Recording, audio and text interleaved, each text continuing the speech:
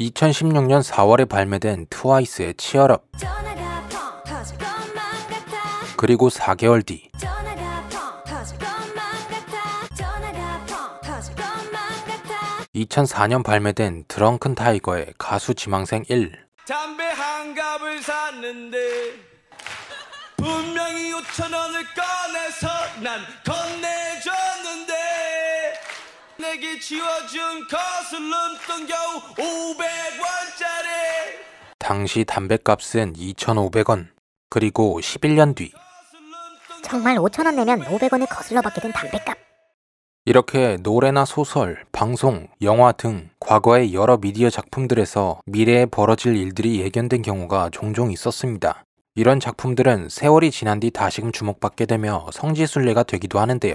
이번 영상에선 어떤 영화들에서 어떤 미래들이 예견됐었는지 한번 알아보도록 하겠습니다.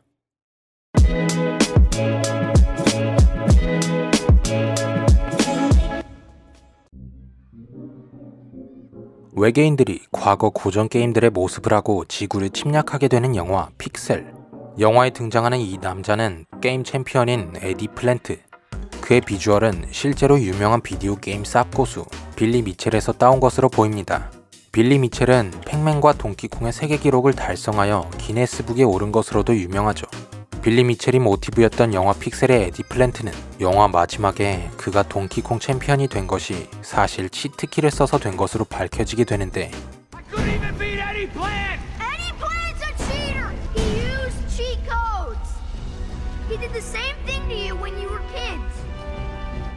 이 영화는 2015년에 개봉했었고 3년 뒤인 2018년 아케이드 게임기가 발칵 뒤집혀졌습니다. 바로 과거 빌리 미첼이 세운 동키콩의 기록이 조작이었던 것으로 밝혀지게 된 겁니다.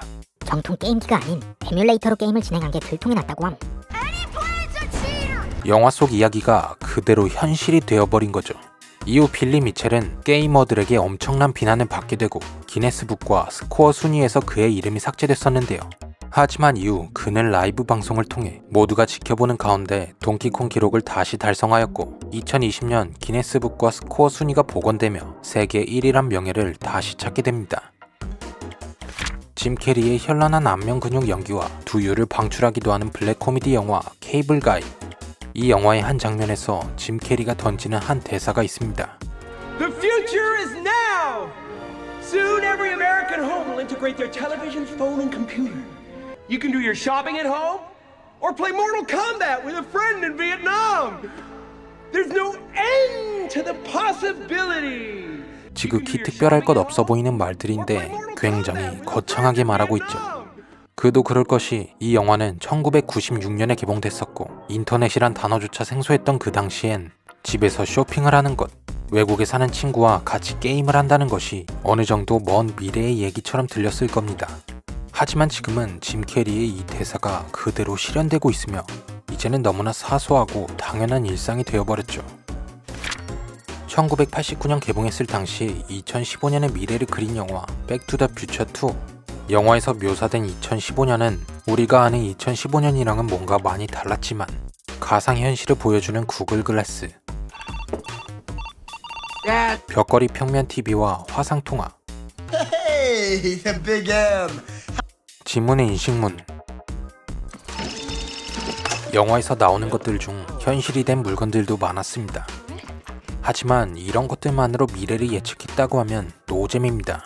영화에서는 2015년 프로야구 월드시리즈 우승팀이 시카고 컵스라고 나오는 장면이 있습니다. 이때 할아버지와 마티는 다소 놀랍다는 반응을 보이는데요. 그 이유는 실제로 시카고 컵스 팀은 1908년 우승 이후 100년이 넘도록 단 한 번도 우승한 적이 없었습니다. 태어나서 죽을 때까지 자기가 응원하는 팀이 우승하는 꼴을 한 번도 못 보고 세상을 떠는 팬들이 많을 정도였죠. 그런 사실을 영화에서 재밌게 풍자한 것인데.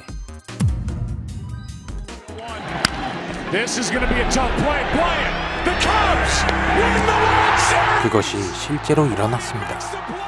비록 1년 차이긴 하지만 백투더 퓨처의 예언대로 2016년 월드 시리즈를 드디어 시카고 컵스가 우승하게 됩니다. 무려 108년 만에 우승이었죠.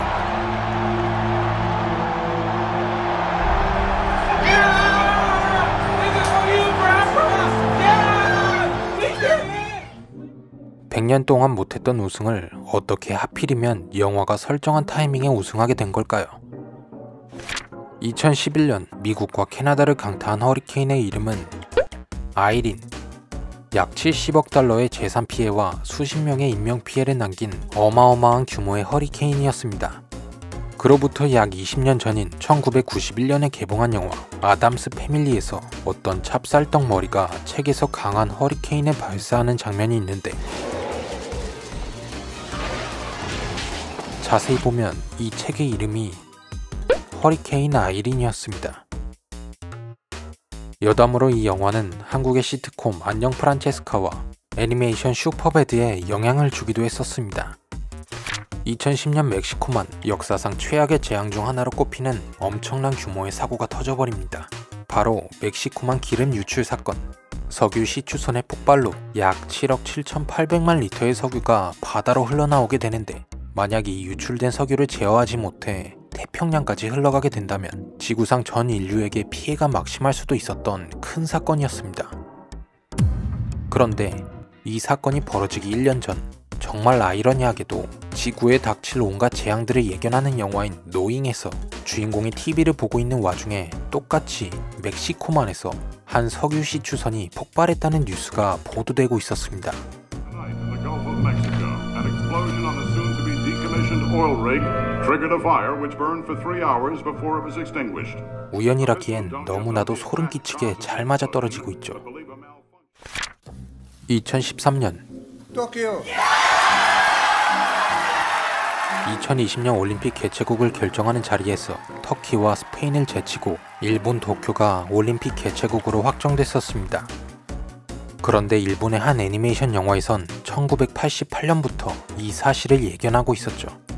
바로 아키라. 1988년 개봉한 이 영화는 2019년도를 배경으로 하고 있는데 여기 영화의 한 장면에서 도쿄가 2020년 올림픽을 앞두고 준비 공사를 하고 있다는 장면이 보입니다. 정말 신기하게 올림픽 개최국을 맞춘 거죠. 하지만 현실에선 결국 올림픽은 수포로 돌아가게 됩니다. 그런데 사실 아키라에서도 똑같이 올림픽이 수포로 돌아간 상태였습니다. 여기 하얀색으로 총기다 총기 라고 써져 있는데 영화의 배경은 3차 세계대전이 일어난 후였고 영화를 보신 분들이라면 아시다시피 아키라의 배경은 올림픽을 할 만한 상황이 되지 않았습니다. 결국 아키라는 2020년 도쿄올림픽 개최를 예언하고 한술 더 떠 취소될 것까지 정확하게 맞춰버린 겁니다. 추가로 아키라 원작 만화인 WHO 전염병 대책 비난이라는 문구가 쓰여 있고 아키라 감독의 후속작인 메모리즈에 등장하는 한 위성의 이름은 코로나입니다. 사실 이런 영화들이 미래를 맞췄다기보단 사람들이 이런 영화들에서 아이디어와 영감을 얻어냈을지도 모릅니다.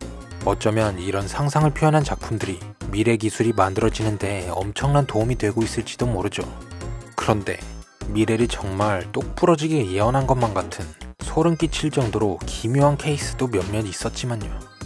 지금까지 영상 봐주셔서 아이 감사합니다